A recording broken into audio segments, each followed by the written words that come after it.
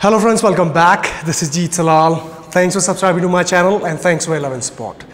Guys आज मैं आप लोगों के लिए एक बेहतरीन एक्सरसाइज लेके आया हूँ जिसके बारे में आप लोगों को जानना बहुत ज़रूरी है कि कौन कौन सी मिस्टेक्स आपको नहीं करनी है इस एक्सरसाइज के बारे में तो वो एक्सरसाइज है आपकी पैक डेक फ्लाइज बहुत सारे लोग गलतियाँ करते हैं पैक डेक फ्लाइज लगाते हुए और जिसकी वजह से उनका सही एक्टिवेशन नहीं होता है चेस्ट में सही कॉन्ट्रैक्शन और स्ट्रेच नहीं मिलता है और साथ ही साथ उनके शोल्डर में इम्पिंजमेंट यानी पेन महसूस होती है इस एक्सरसाइज में।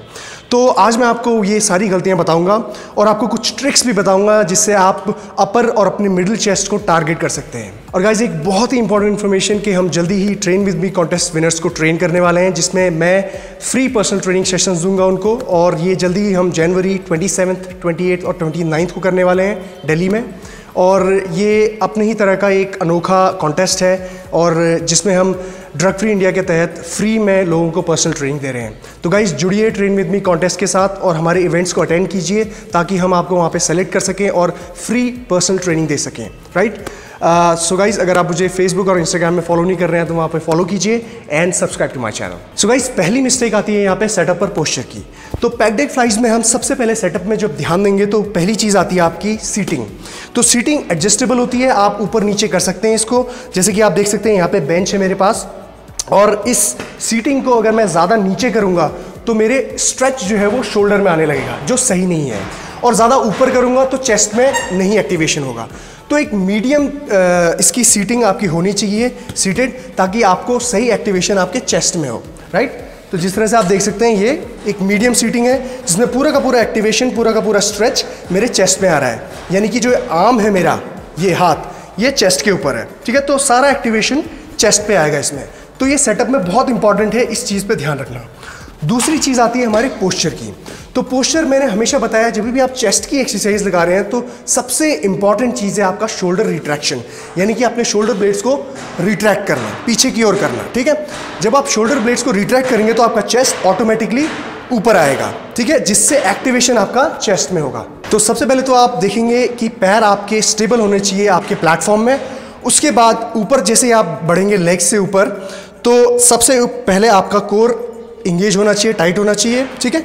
उसके बाद जो आपके ग्लूट्स हैं ग्लूट्स अच्छी तरीके से फर्म सीट पे होने चाहिए सीट से ऊपर या आगे पीछे नहीं होने चाहिए। तो पोस्चर सेटअप स्टार्ट होगा आपके लेग से स्टेबल प्लेटफॉर्म में, उसके बाद लेग्स ग्लूट्स डाउन उसके बाद शोल्डर में हल्का सा बैक में लोअर बैक में हल्का सा आर्च आपके शोल्डर ब्लेड्स रिट्रैक्टेड पीछे बेंच पे, और ये आपका सही पोस्चर होगा चेस्ट ऊपर। तो जब आप फ्लाइस ऐसे लगाएँगे तो आपका सही एक्टिवेशन आपके चेस्ट में होगा। और एक और इंपॉर्टेंट बात यहाँ पे मैं बताना चाहूँगा सेटअप में ही कि कुछ मशीन्स में लिवर होते हैं एडजस्ट करने के लिए।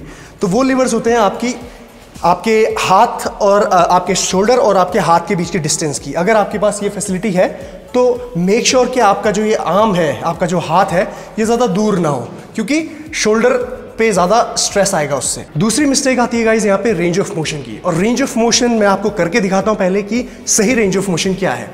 तो जैसे ही आपने वेट को लिफ्ट किया, और दूसरी इंपॉर्टेंट बात मैं यहाँ पे एक और ऐड करना चाहूँगा कि जब भी आप वेट को लिफ्ट करेंगे तो दोनों हाथों को आपने ऐसे लिफ्ट नहीं करना है। इसी वजह से लोग बहुत जल्दी इंजर होते हैं शोल्डर में इम्पिंजमेंट की प्रॉब्लम होती है। हमेशा वन बाय वन एक हाथ को आप ऊपर लेके आएँगे, उसके बाद आप दूसरा लीवर पकड़ के लेके आएँगे। तो अब बात करते हैं हम रेंज ऑफ़ मोशन की। तो रेंज ऑफ़ मोशन हमेशा आपका यहाँ से स्टार्ट होगा, जब आप पूरी तरीके से कॉन्ट्रैक्टेड मोड में होंगे। आपने सेटअप स्टार्ट किया अपने शोल्डर ब्लेड्स को रिट्रैक्ट किया चेस्ट अप करी ग्लूट्स डाउन प्लेटफॉर्म में पैर उसके बाद आप स्ट्रेच यहाँ से स्टार्ट कर, स्टार्ट करेंगे। ये रेंज ऑफ़ मोशन आपका स्टार्ट होगा यहाँ से। स्ट्रेच एंड कॉन्ट्रैक्ट अब ध्यान दीजिए मेरे जो स्ट्रेच है ये ओवर स्ट्रेच नहीं कर रहा हूँ मैं। इतना नहीं जा रहा हूँ। अब इतना जब मैं जाऊँगा तो मेरे चेस्ट में तो स्ट्रेच आएगी आएगी लेकिन मेरे शोल्डर ब्लेड्स मेरा जो शोल्डर है इनर एंटीरियर इसमें भी स्ट्रेच होगा, जो सही नहीं है। अभी हम चेस्ट की एक्सरसाइज कर रहे हैं। आपका स्ट्रेच यहाँ तक होगा। दैट्स इट आपके शोल्डर लेवल तक आपके जब आर्म्स पहुँचेंगे, वहीं तक। एंड कॉन्ट्रैक्ट एंड कॉन्ट्रैक्ट और गाइस मैं आपको क्यों कह रहा हूँ कि ओवर एक्सटेंड नहीं करना आपके आर्म को? क्योंकि ये एक वलनरेबल पोजिशन है आपके शोल्डर के लिए। जब भी आप देखेंगे बॉक्सर जब हुक मारते हैं तो जब भी आर्म ज़्यादा एक्सटेंड होता है तो शोल्डर के लिए वो ठीक नहीं होता है। तभी भी क्लोज जितने भी पंचेज होते हैं क्लोज पंचेज होते हैं। ये पोजिशन ठीक नहीं है शोल्डर की, क्योंकि अगर ये मिस हो गई या झटका आ गया इसमें तो ये शोल्डर पे इम्पिंजमेंट शोल्डर डिसलोकेशन की प्रॉब्लम हो सकती है। तो यही सेम मोशन है आपका जिसमें आप बैकडेक फ्लाइज में जब स्ट्रेच कर रहे हैं या किसी भी फ्लाइज में स्ट्रेच कर रहे हैं तो ज़्यादा ओवर एक्सटेंड नहीं करना है। तीसरी मिस्टेक और बहुत ही इंपॉर्टेंट मिस्टेक आइज़ यहाँ पे ये है कि आपको एल्बो का इस्तेमाल नहीं करना आता है जब भी आप चेस्ट की कोई भी एक्सरसाइज लगाते हो। तो क्या कह रहा हूँ मैं?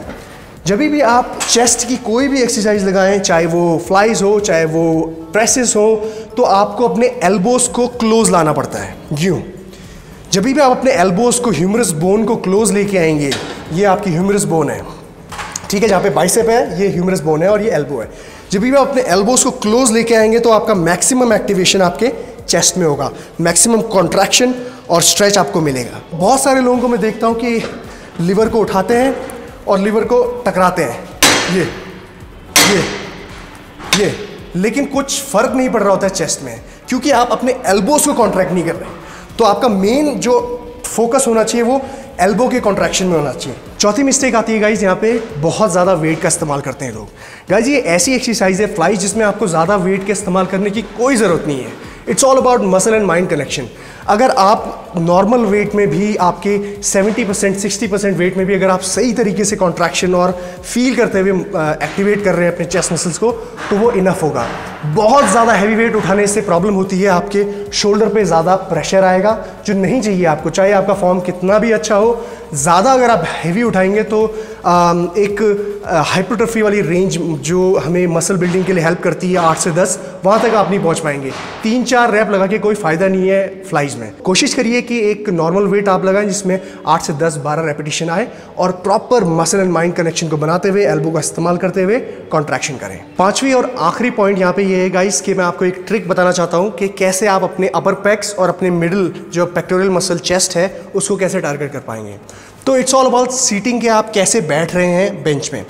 तो बेंच में जब भी आप अपने ग्लूट्स को क्लोज करके बैठेंगे पीछे बेंच के साथ, और हल्का सा आप इनवर्ड्स रोटेट करेंगे अपने शोल्डर को, हल्का सा, ज़्यादा नहीं शोल्डर पे ज़्यादा नहीं आना चाहिए, और ये कम वेट में ही परफॉर्म करना है आपको, ज़्यादा वेट नहीं लगाना है। अब देखिए हल्के से आप स्ट्रेच करेंगे और आप अपर चेस्ट पे टारगेट करेंगे। सामने से अगर आप देखेंगे यहाँ पे ग्लूट्स मेरे बैक बेंच पे टच हो रहे हैं, और हल्का सा मैंने शोल्डर्स को इनवर्ट रोटेट किया है और स्क्वीज स्क्वीज स्क्वीज पूरे ओवरऑल चेस्ट को तो टारगेट कर रहा है, लेकिन अपर पैक्स में अपर पेक्टोरियल मसल में ज़्यादा एक्टिवेशन है।